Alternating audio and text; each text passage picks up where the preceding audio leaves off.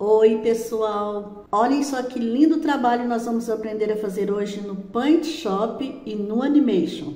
E além de ser muito lindo, esse trabalho é muito fácil de fazer também. E o material desse tutorial de hoje já estou deixando para vocês o link na descrição do vídeo, como sempre. Eu vou criar esse trabalho na versão 9 do Paint Shop, mas vocês podem fazer em qualquer versão dele. Então deixa eu fechar aqui meu trabalho. E antes de começar a fazer esse trabalho, vocês vão na pasta dos materiais, vão copiar esta pasta com o plugin e vão colar na pasta plugins de vocês. E se vocês quiserem usar a mesma fonte para escrever o texto que eu vou usar aqui, é essa aqui, olha. É só vocês darem dois cliques com o lado esquerdo do mouse sobre essa fonte e mandar instalar. Eu não vou fazer isso porque eu não preciso, já tenho ela aqui. Mas vocês podem escrever o texto com qualquer fonte. E esta pater dourada vocês vão copiar e colar na pasta Pater de vocês. Vou mostrar aqui como achar essa pasta. Vocês vão no programa Paint Shop, aqui em File, Preferências, esta opção, vão aqui selecionar Paters e aqui dá dois cliques, para selecionar tudo, copiar. E agora vocês vão nesse ícone aqui do computador, dois cliques para abrir e aqui seleciona Ctrl V e Enter. Pronto, já abriu a pasta pater do programa. E agora é só copiar a pater dourada e colar aqui na pasta pater do programa. O meu está perguntando se quer substituir, porque eu já tinha colado aqui antes, tá? De vocês não vai aparecer essa opção, é só colar mesmo. Então, feito isso, a gente já pode criar nosso trabalho. Vou aqui para o Paint Shop. E, pessoal, eu já deixei aqui na pasta dos materiais as cores que nós vamos usar para fazer esse nosso trabalho. Vocês vão aí na pasta de materiais, abram aqui o bloco de notas com dois cliques vocês vão selecionar esta cor, copiar a cor do foreground, ir para o programa de vocês. Eu já tenho as cores aqui, mas vou mostrar para vocês como que faz. Seleciona o foreground, seleciona aqui essa cor, esse número, Ctrl V e Enter. Da mesma forma a gente vai fazer com background. Seleciona aqui a cor do background, copia, clica aqui no background, seleciona, Ctrl V e Enter. E agora eu vou trazer para o programa as imagens que eu vou usar para fazer o meu trabalho. Vou na pasta de materiais, não vou precisar por enquanto da barrinha de coração, nem da borboleta e nem da pater, a pater já colei na pasta pater e só vou precisar destas imagens aqui. Vou selecionar a correntinha, pressionar Shift e selecionar paisagem e vou arrastar e jogar aqui para o meu programa. E agora com Shift D, eu vou duplicar esta imagem da paisagem, fechar a original e usar esta daqui, a cópia. E agora, nessa cópia da paisagem, nós vamos aqui em Layer, New Raster Layer. E ok. Vamos aqui, nesta nova Layer, lado direito mouse, arranje, move Doom. Passamos ela para baixo. Com ela selecionada, nós vamos aqui em Effect, Plugin, este aqui, Muras Meister e Cloud. Nas configurações padrão, ok. E agora nós vamos aqui em Layer, Mesh, Mesh Visible. Vamos agora na ferramenta de seleção. Se não estiver aparecendo, vocês cliquem nessa seta e escolham esta opção aqui, Selection. E vamos selecionar aqui só a paisagem. Aqui está bom. E agora eu vou tirar da ferramenta de seleção e copiar essa imagem. Quando a gente faz isso, essa cópia fica salva na memória do programa. E agora nós vamos aqui em File, New, criar uma nova imagem de 600 por 450 pixels, transparente, ok. Vamos de novo em Effect, aquele plugin Cloud que já está salvo aqui na memória, e também nas configurações padrão. Vamos agora em Effect, Texture Effect e esta opção aqui, Blinds. E vocês vão colocar desse jeito aqui. se esse bug que da cor deixar eu mostrar para vocês, vocês vão colocar aqui em 4, 45, na cor do foreground e esta opção marcada. Para escolher a cor do foreground, vocês vão clicar com o lado esquerdo do mouse aqui na cor e selecionar ela, olha, e dar OK. Vamos agora em Layer, New Raster Layer, OK. Vamos aqui na ferramenta de seleção, nesta opção aqui de customizar, Aqui nós vamos colocar 35, aqui 60, aqui 260 e aqui 380. E ok. Vamos agora na ferramenta do baldinho e com o lado esquerdo do mouse vamos pintar essa seleção com a cor do Fareground. Ctrl D para tirar a seleção. Vamos de novo nesta ferramenta de seleção, customizar novamente e vamos mudar aqui. Vamos colocar 290. E aqui vamos colocar 565. E ok. E vamos de novo com a ferramenta do baldinho, lado esquerdo do mouse, pintar a seleção com a cor do Fareground. Ctrl D para tirar a seleção. Vamos tirar da ferramenta do baldinho. E vamos aqui na ferramenta da varinha mágica. Vocês escolhem aqui esta ferramenta Aqui tem que estar marcado desse jeito, ADD Shift, e vamos clicar aqui no primeiro quadrinho e no segundo. Vou tirar da ferramenta da varinha mágica agora, e agora nós vamos em Layer, New Raster Layer, OK. E a gente vai com o lado direito do mouse, nesta opção Paste, e nesta aqui, Into Selection.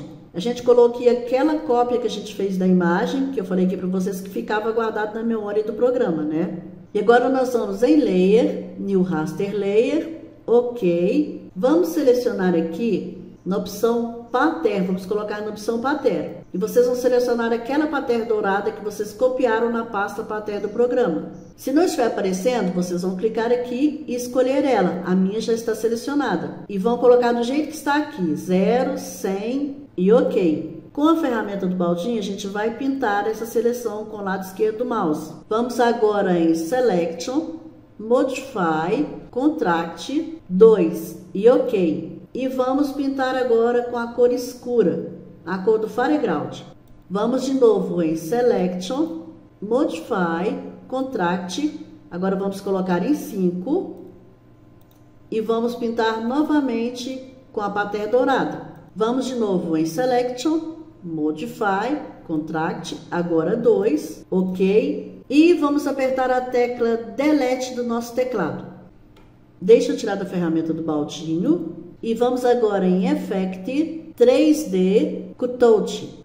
E vocês vão colocar desse jeito aqui, olha, 0, 0, 100, 23, na cor preta e esta opção desmarcada. Ok. Vamos agora Ctrl D para tirar a seleção. E vamos aqui na Raster Room, tirar a visibilidade dela. Clique nesse olhinho aqui para fechar a visibilidade. E vamos em Layer, Mesh, Mesh Visible. Vamos agora em Effect 3D, Drop Shadow. E vamos colocar em 2, 2, 50. E aqui em Blur, vamos colocar em 10. Na cor preta e essa opção desmarcada. Ok. Vamos agora em Layer, New Raster Layer, OK. E vamos de novo nessa opção de seleção, em Customizar. Aqui nós vamos deixar em zero, aqui também em zero, aqui nós vamos colocar em 600 e aqui em 45. E OK. Vamos agora na ferramenta do baldinho, mudar aqui de novo para cor e pintar essa seleção com a cor escura. Vamos agora em Layer, New Raster Layer, ok. Deixa eu tirar da ferramenta do baldinho. E vamos aqui, Paste, Into Selection. Colamos de novo a nossa paisagem aqui. Vamos agora em Adjust, Blue, Gaussian Blur, 5 e ok. Vamos de novo em Adjust, Blue, esta opção aqui. E vamos colocar desse jeito, 100, 90 e ok. Vamos agora em Layer, New Raster Layer, ok. E vamos pintar aqui de novo com a pater dourada. Selecionar a pater, a ferramenta do baldinho e preencher com essa pater. Vamos em Selection, Modify, Contract 2 e OK. E vamos preencher com a cor escura. De novo em Selection, Modify, Contract 5 e preencher com a patera. Selection, Modify, Contract 2, OK e Delete. Vou tirar da ferramenta do baldinho Vamos agora em Effect 3D Cutout 00100 e aqui vamos colocar em 10. Desse jeito, ok. Vamos agora Ctrl D tirar a seleção e vamos aqui na ferramenta de mover, puxar esta parte aqui da imagem para cima, dessa barrinha dourada, até sumir a primeira barrinha dourada. Vamos aumentar aqui tá? Para ficar melhor de gente trabalhar. Vamos arrastar para cima um pouco. Pronto, sumiu a barrinha dourada. E agora nós vamos aqui nessa ferramenta de deformação e vamos puxar aqui até sumir a barrinha dourada dos lados também. E vamos trazer essa barra dourada aqui para cobrir essa imagem escura. Agora eu vou aqui nessa opção de restaurar. Tem que ficar desse jeito aqui, tá? E agora vamos tirar a visibilidade desta layer aqui também, Merged. Deixar essa de cima selecionada. E vamos aqui em Layer, Merge, Merge Visible. Ok? Vou tirar dessa ferramenta aqui. Podemos voltar à visibilidade. E vamos aqui em Layer, Duplicate, Image, Flip. E agora vamos tirar a visibilidade de novo dessa layer aqui da de cima, deixar selecionada essa primeira e Layer Mesh, Mesh Visível. Vamos voltar de novo a visibilidade das outras. E agora, deixa eu fechar essa imagem que a gente não vai precisar mais dela. Vamos aqui, nessa imagem da correntinha, copiar e colar como uma nova layer. Paste e esta opção. Com a ferramenta de mover, a gente vai ajeitar a correntinha aqui, olha, de forma que pegue essa primeira linha dourada do quadro. Agora vamos em Layer, Duplicate, ainda com a ferramenta de mover, vamos arrastar e posicionar aqui. Layer, Duplicate de novo, arrastar, colocar aqui. Layer, Duplicate, arrastar e colocar aqui. Vamos agora, nesta imagem das flores, deixa eu tirar dessa ferramenta, copiar e também colar como uma nova layer. Com a ferramenta de mover, nós vamos colocar ela aqui, aqui no meio. E ela tem que ficar por cima de todas, tá?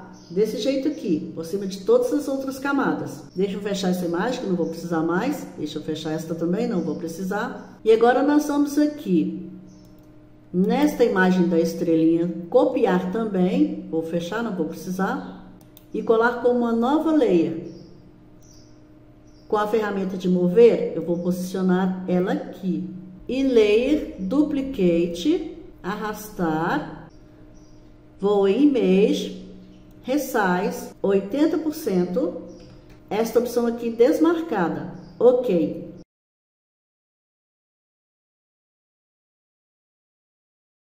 E vamos em Layer, Duplicate, arrastar essa estrelinha para cá. Vamos selecionar esta maior agora, é só clicar que fica selecionada.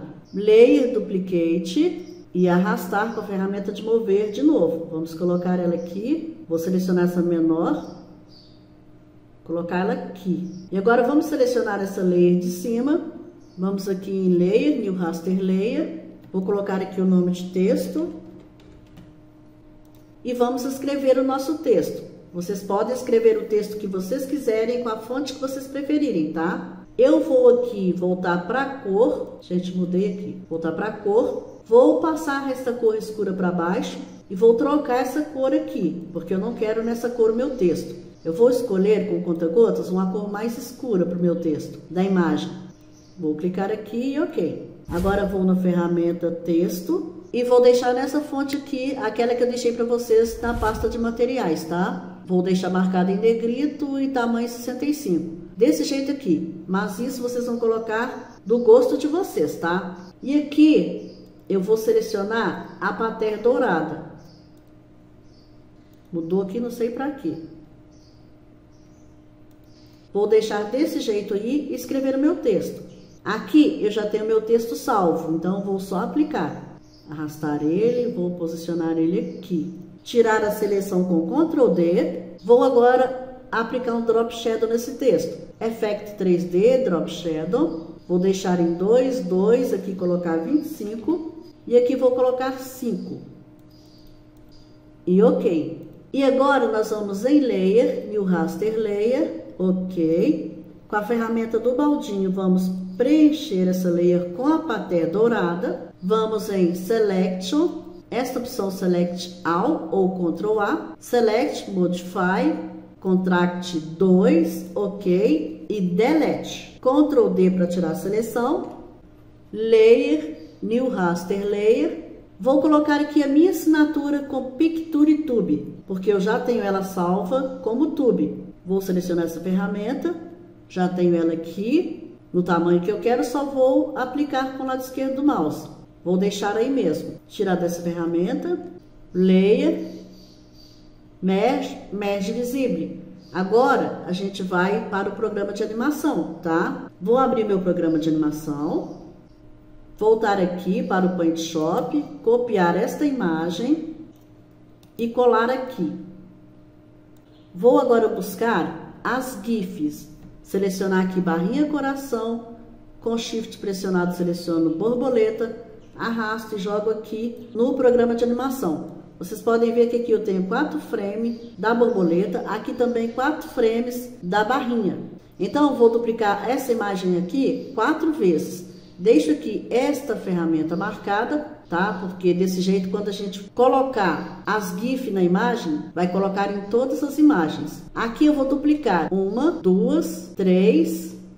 Nessa última aqui, eu seleciono lado direito do mouse Delete e ficamos assim com quatro frames com a velocidade 10. Vou deixar nessa velocidade. Clico na primeira, Shift pressionado, clico na última e seleciono todas. Aqui também vou fazer a mesma coisa. Primeira frame selecionada, Shift pressionado, clico na última.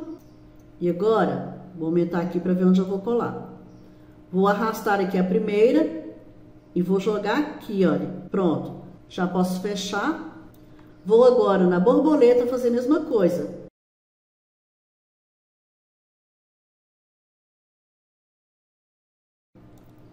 Aqui vou fechar, não salvar. E está pronto o nosso trabalho. Vamos ver como ficou? Olhem só que lindo. E agora é só salvar. File, Save As, Bom dia. Coloca um nome qualquer. Salvar. Nessa opção vocês vão deixar desse jeito aqui. Olhem só. Ok. Avançar, avançar, avançar e concluir. Pronto, pessoal terminamos o nosso trabalho. Como vocês viram, um trabalho muito lindo e muito fácil de fazer também. E termino por aqui o tutorial de hoje. Espero que vocês tenham gostado. Agradeço por assistirem o vídeo e até o próximo tutorial. Abraços!